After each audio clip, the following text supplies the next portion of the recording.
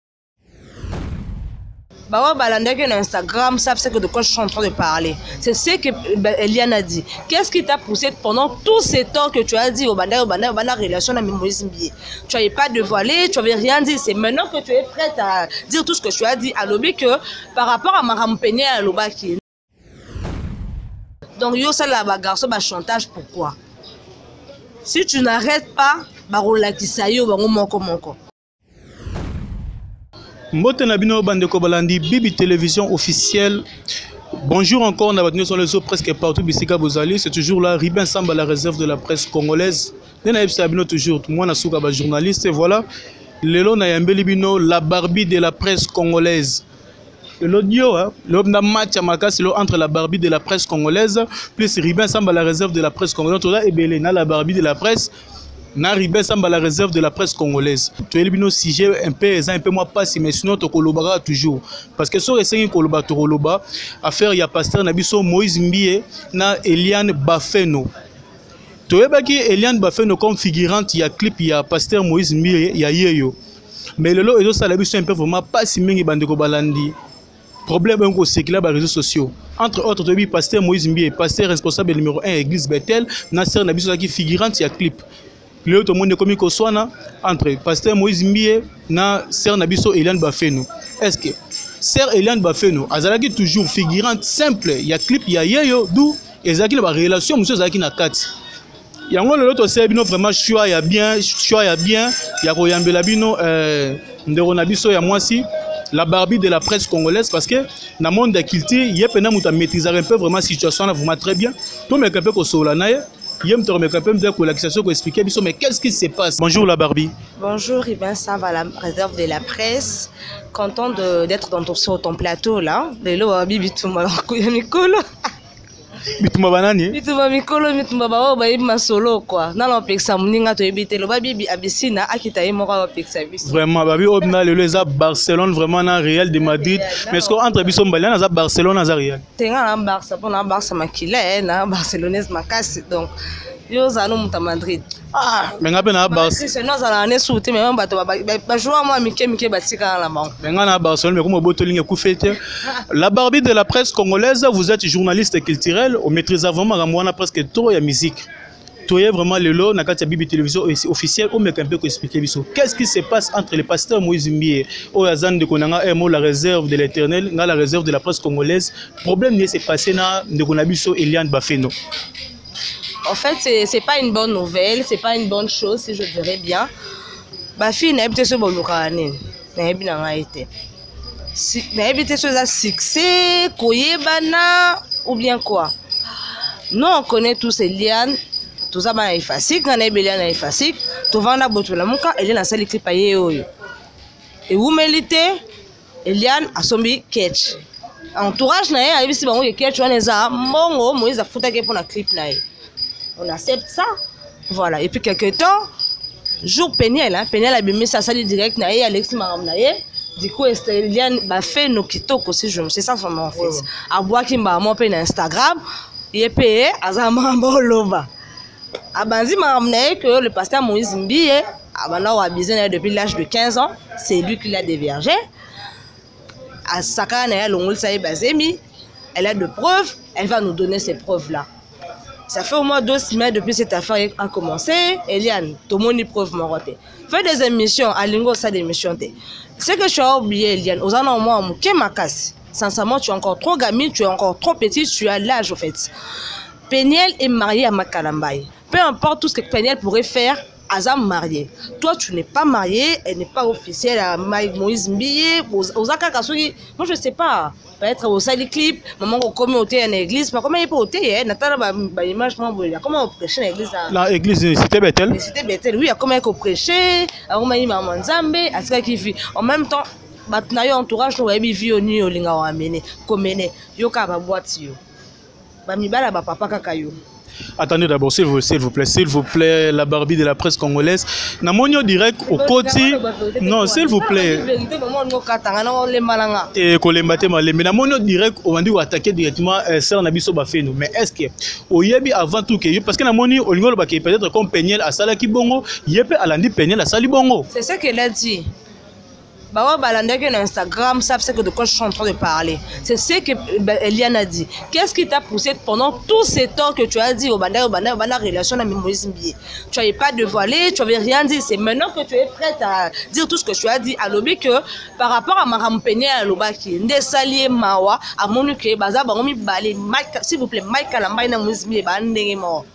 na makambo moïse mbi asala ye na makambo peniel abeti ya mike alamba amoki ebande ye moko c'est le moment ye pa repentir aloba makambo na ye tu vois c'est par rapport à cela nde abimisa ye makambo wana et elle a oublié que peniel est marié mike est la, le père de ses enfants et toi tu n'es ni marié oza na oka jeune mwa mboya moke moïse mbi n'a jamais été marié aza mpe na fiance te oyo oh, toyebi officiellement tout ça non peut-être un mosusu avec le temps alingaka bala po alobaki aprometaki ye libala mais sinon so olandi baintervention ya peniel très bien bike no voir même ke na moïse mbie babota déjà mwana mwana na 5 ans aza libana na états-unis o oh, boni boye bapreuve wapi bapreuve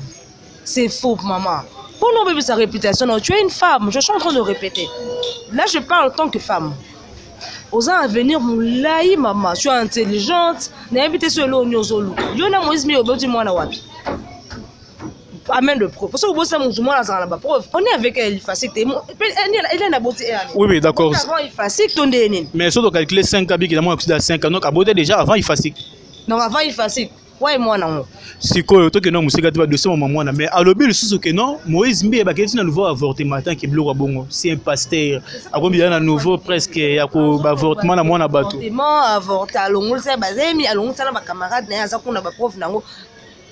toza toza toza presse toza bajournaliste toza bandeki nzela te quand on parle de choses on a de preuves c'est pas pour rien oyoki ke ndako moko eziki place tel ozwi voiture oki osala reportage parce que journaliste akitaka na terrain azwi information oza na bezo ozala sur na likambo ovanda liboso ya plateau oyo olobela bato toza na bapreuve ya eliane te ti lelo ya de gens oyo bazoloba oh je vais, je vais, je, c'est maintenant le temps de dénoncer tout ça eliane dénonce azo dénoncer te on est en train d'attendre depuis tobanda ozela bacommentaire na instagram bolanda ngai nakotanga bacommentaire na instagram vraiment vraiment toza andrete bolanda vraiment bacommentaire oyo aza la barbie de la presse congolaise nene yebisa bino toujours alobaka makambo toujours na bapreuve alobi azotangela biso na instagram tolanda nyonso oyo euh, euh, eliane bafeno akomaki du ezalaki baconversation s'il vous plaît ezalaki baconversation ye na oyo apubliaki eza baquestion bapose na internet na instagram baréponse apesi bato qu'elle veut d'abord s'il te plaît elle veut libérer le jeune femme na makambo moïse mbi asalaka bato ok on n'en disconvient pas on est toutes de jeunes femmes bato ngai nasambela na cité bete te désolé mais ta cité bete baza ebele libere bango na nini na makambo moïse mbi asalaka bato asaka azwa matrice na ye ye moto alebi abota mm. azwa matrice na ye no na 15 ans asalela yango mpo azwa succès akoma oyo aza lelo yo moto olobi ke basalela matrice na yango kaka yo wana olobi so oza na mwana ata yo moko mais tozala bato on blague pas peut-être okanisi que peut-être eliane akanisi que moi nde balobi makambo ya makala mai ebimi vrai parce que c'était peniel c'était sa femme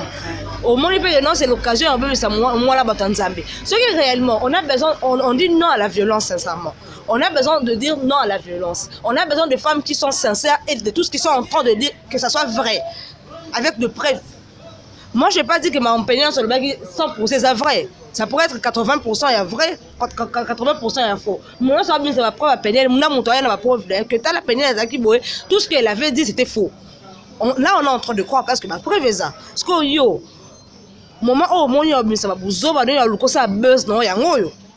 moment oyo oh, toutes les femmes baza na kanda bao dénoncer non à la violence yo obimisi omoni moment olekisa bato temps ya kokosa bato sur pasteur ya bato je pas dit que moïse aza sans aza ne pasteur aza ne santé aza loka bapasteur nyonso aza moto aza mobali mais bimisa bapreuve soit sur que eh, sur mais naza na dire est vrai On n'a pas ce temps. On est en train de donner ça à la violence. Bah, on les femmes. On a besoin de femmes sincères. Oh, bah, on va solo. Parce que moi, les cas, le coup, na yo. Car mon toit, au bimasso, tu as mon soir, la vérité, ça va pas on mettre parce que yo, de l'eau, banzo, au cosabat. Mais. na na question moko posi yo parce que tout oyo azobimisa mais pourquoi azobaka eza lokuta moi kino toza baconversion osenga régi abalanseli biso baconversation ya, ya, ya, ya liane na équipe ya moïse mende bazosola so na chef d'orchestre presque tout ezali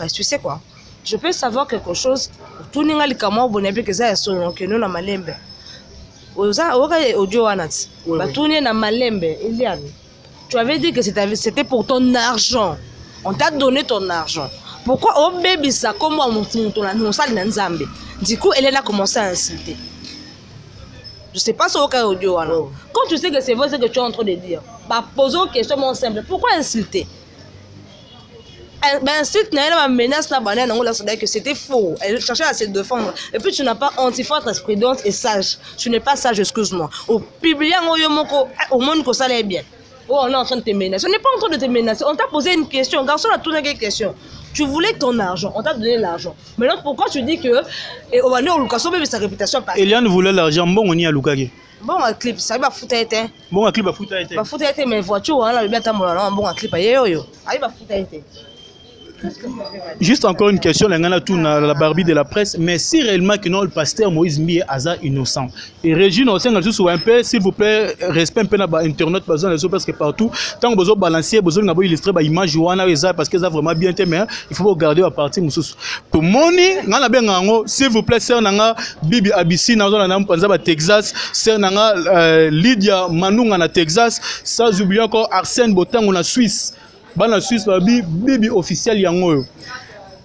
bibi officiel makambo ngai abenga yango mutaxi mais pourquoi mambo aboye na baartiste tokoevoke mpe tokoyeba mpe mamosusu tokobimisa ya ndongo na biso oyo eh, eh, herman toujours biloko ya boye c'était auparavant avec héritier watanabe ebimi encore toyemona na herman lelo lisusu eliane fille oyo nayebi ye très bien aza concert na ngai fasik aza ye nayebi ye très bien très bien mais pourquoi biloko ya boye nani abimisi ngai abenga yango mpenza mutaxe nani yango abimisi mutaxe ya ndeko na biso eliane soki aza baproblème na moïse mbiete mais bimi ndenge nini dans la conversation elle est en train de parler avec une fille une femme je dirais pa mwa mobali ayebisi ye mibali no nyonso osalisaka bajou wana baza na kanda na yo donc eza la vie ya, ya, ya kala donc atuna atuna bongo donc yo osalaka bagarçon bachantage pourquoi si tu n'arrête pas bakolakisa yo bango moko moko ya bilobi je de preuve ya avortement moise mbi asalela nga asalisa nga ata wana so boloba etali ngai te ayebisi repentu toi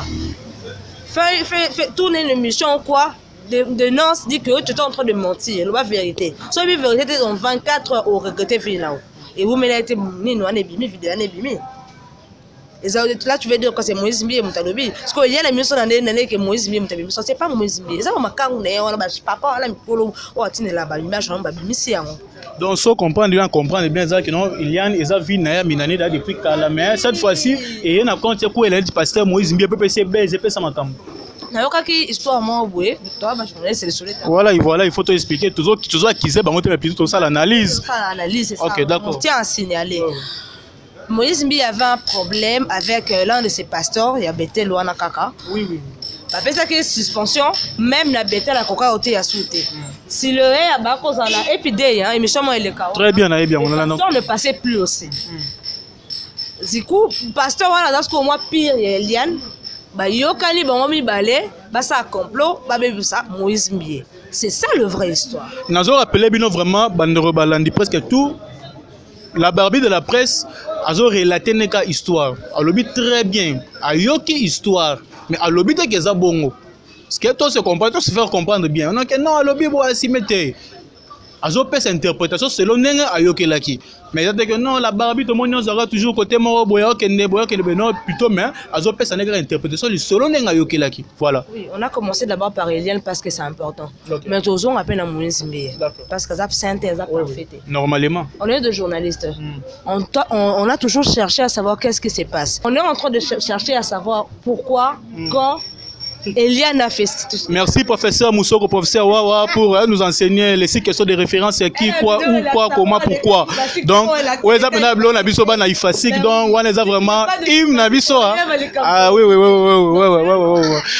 donc kin na biso wana sikoyo lelo mpenza ezongela paster moïse mbie na eliane wana ezongela bango mibale voilà il faut comprendre que eza baifasisien bato babeta makambo voilà vous avez la parole pourquoi ezongisi biso na likalisolo nabetaki wana c'est ça en fait moi je cherchais à savoir par rapport par na entourage ya eliane mm. pourquoi elle a fait ça bato babidi c'est pour de l'argent mpo soki ozali na besoin mbongo sincèrement moïse mbi azangi mbongo mpe c'était alinga azwa kaka baimage oyo alobi na bandi okosala chantage kuna akozwa mbongo mpe akei na ye poto so ake wapi parce que akoma na baagence na ye moi je commencé ye même jete je l'encourage au fait na instagram aza na agence moko boye aza na comment aza na entreprise na ye quoi c'est elle ye ne dg ye nde moto agera yango bien c'est encourageant enfin ocontinue makambo wana qu'est ce que ya pousse eliane ya kosala makambo oyo ya kosala lokola abebisa vie na ye et là on m'apprend que eza parce que bayokani na pasteur moko boye ya, ya peni ya église peni ya betel babebisa réputation ya moïse mbiye yo koyokana na pasteur kasi abe pasteur kana abimisa makambo na ye ti yo omoni sikoyo ndo sambwe osali bamakambo na yo oyebi ete ke yo oza makambo ebele bomona nsima le passé nous rattrape toujours moi image wana ndimi na ngai te ke moïse mbiye moto abimisa bon s'il vous plaît euh, master na biango meme elan la bardi la bardi de la presse congolaise tokende mpe tozonga wewe tokende tozonga mpe mais mais oui oui oui na comprendre mais koboya ata ndeko na bino epa ndeko no mpe ya ifasique bon tokende mpe tokende mpe tozonga mais pourquoi na comprenaka te toujours moïse mbiye mais bapasteur baza ebele ya de pasteur marcelo tunasi bapasteur baroute kasongo depa bandi makambo évangile ti lelo pasteur baroute babiloko wana ebimaka te mais pourquoi toujours moïse mbiye Gege tausi na misapi tala kutu boye abalaka te mais toujours pourquoi pasteur Moïse Mbiye et puis ye na camarade ne toujours Mike Kalambaye Mike Kalambaye babanda mambo ezalaka Mike Kalambaye na Moïse Mbiye po apoka babalaka te mai yaki obala bibala bala kuna bomoni makambo ekomele vraiment olipe Moïse Mbiye abala so abala ngamba na Eliane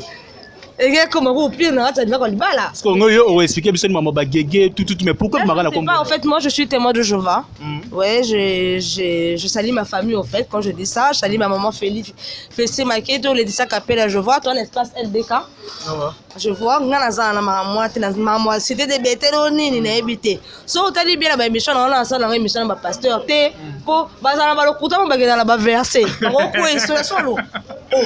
oyambi paster alors likambo lokuta moko makoti verse na kasi ozangi eloko ya koloba nga nasala nanga ngo te mpo okenda nga na bino mpe batemoinga mendre na kati ya plateau bino mpe batemoin kozala makasi na baverse oke bino temoin mpe bonayebi kozala makasi na biloko wana débat moko ya temoin de jehova na pasteur te bosuka na baverse biblique po okoma bongo voulez parler na plateau okay. pour, pour éviter ça na yambaka na nga bango te c'est pas parce que na mission na so botaleli de message emanga la barbie de la presse bomona nga na frère moko boye te po manga maloba ezala le côté loba confort na nga na ti lokole que je salue en passant vraiment na ti fideline moussa de ma tante je salue je te salue yebisa nga nakima maître na plateau nayebela monoko na nga azala nango esimba te d'accord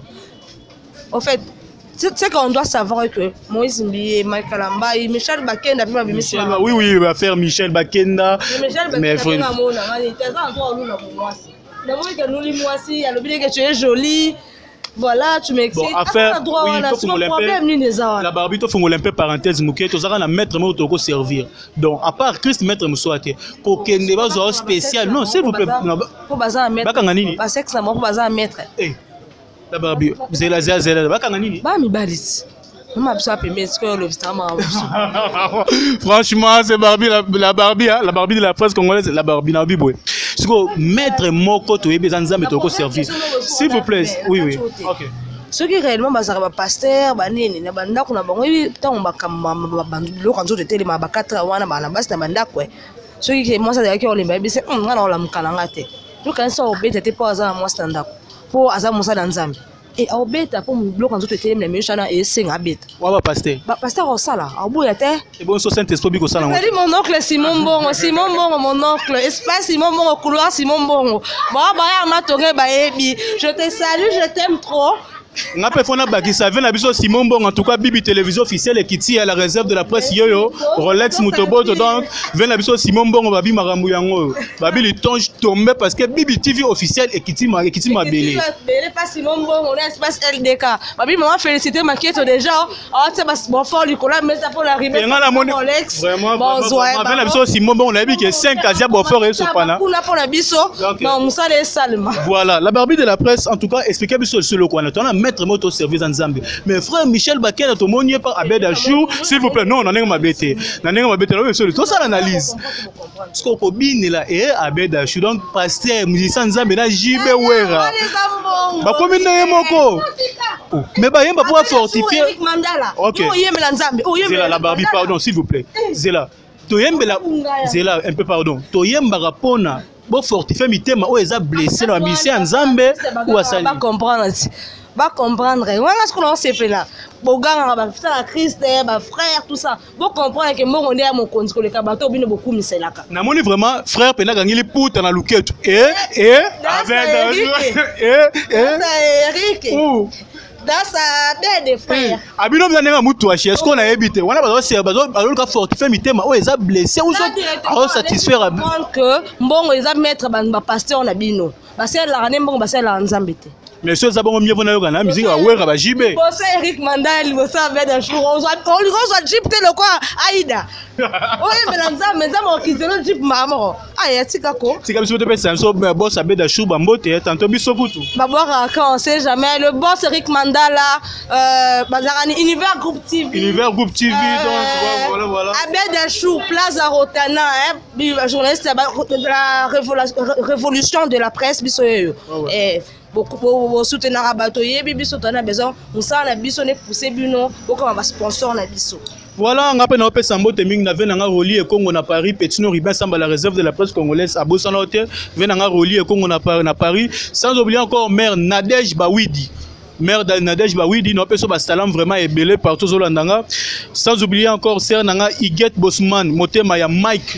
toujours na Texas. Nazo salue encore maman Vicky Mutombo, babi couturière mne na kata Texas. Mère, jour na kita Texas, betelanga penda bo mona kata ba tulampa ka ba mona pele vedi. Sans oublier encore Niki aussi bande na Paris, ba motelo mingi mingi yango wana. Mère Nadège Bawidi, talaka mère na na lelo ya trouve vraiment ba salutations belé na sepela mi non conseiller conseiller toujours papa mère nadège bawidi yebisaka papa andimaka telefone nakobwaka ye lelo te mpo na andimaka telefone mère nada bawidi yebisa papa andimaka telefone donc moyen nabwaka ye lelo ekozala te mpo papa andimaka telefone te naopesa su mbote na famille kaloso famille kaloso mobimba basalamu na bango trop trop trop ya ebele ebele ebele vraiment bambote ebele naosalue famille kaloso en tout cas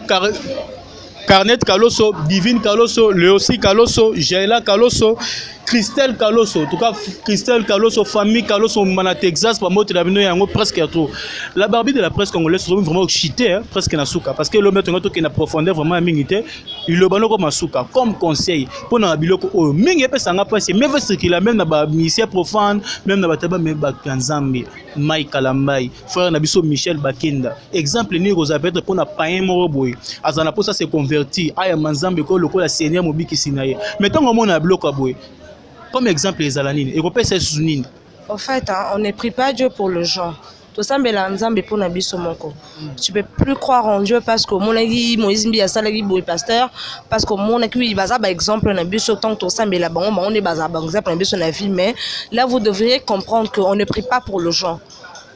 on le prie pour dieu sa prière ya yo na nzambe no akoyoka yo koprie te parce que osambela chez mike kalamba qui est déjà pasteur parce que oyembela oyembaka banzembo michel bakenda tout ça non prie pour toi makambo oyo epesa bino leçon que le gens oyo nzambe na ozwa lupango no oteki ozwi kata moko lupango opesi pasteur po akee liboso omoni asala nde nzoka nango buzoba donc prie pour toi po vie na yo ezala ndenge nango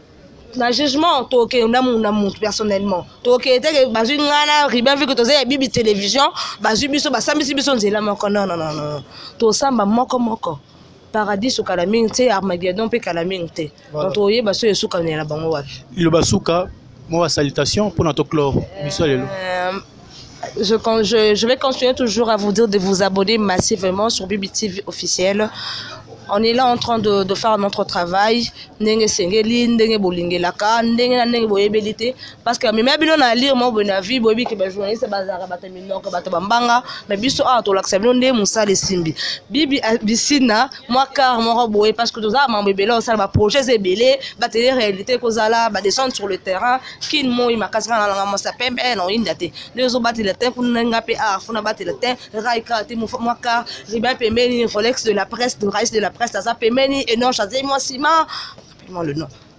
Euh, tu vois totele toza na besoin mwa car mwa caméra kafu mwa eh, basponsor ya bien boya tout ça je salue euh, yvon kayembe moto na tembe merci pour ton soutien je vois euh, mireille mavambu ma tante euh, nana mulela nana mulela nana mulela wana staff ifasike yanga mpe napesi no mbote nana mulela donc naomi eboma naomi eboma bonne guérison en toi déjà tokotala naomi eboma elle est déjà malade elle est malade en fait euh, blanche, blanche tout ce qui là blanche tout ce qui là la femme de caractère euh, je vois que yanginu que eh que ezalaka nini na yo enoche que je n'ai pas vu je salis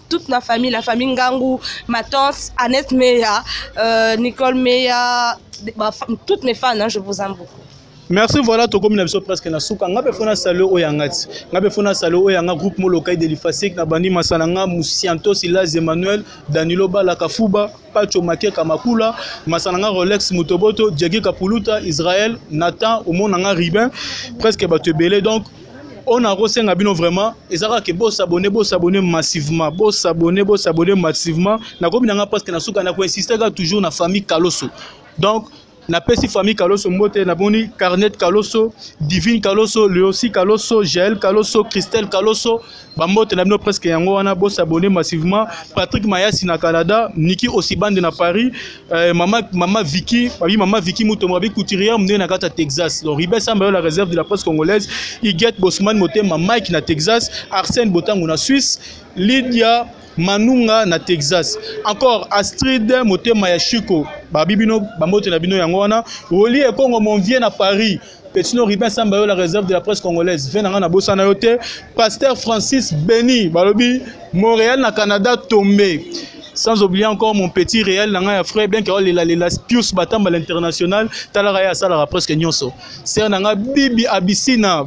salaka nongo la kari biso sœur nanga moi bord etalaka ba pemba ba larbi la barbi de la presse ba pembe na bango et na biso ba mbala ba choco frappant ba tonton Rolex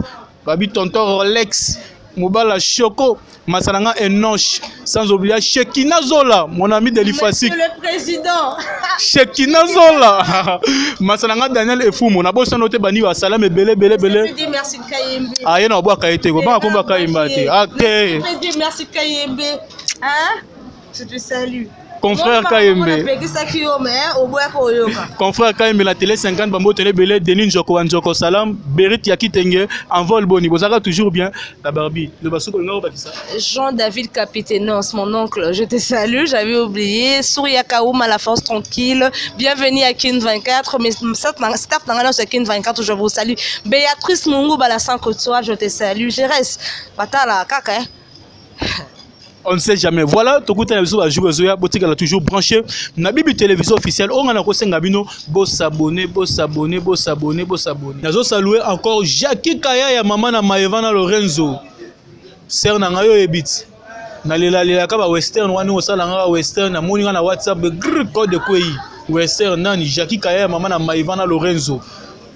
pure petite ya isabelle na kati ya tour babi tour na france tombe babi jacki kaya ya mama na maevana lorenzo yo oza sponsor sponsor na ngai numero 0000 depuis nazala bakote wana eh? jacki kaya ya mama na maevana lorenzo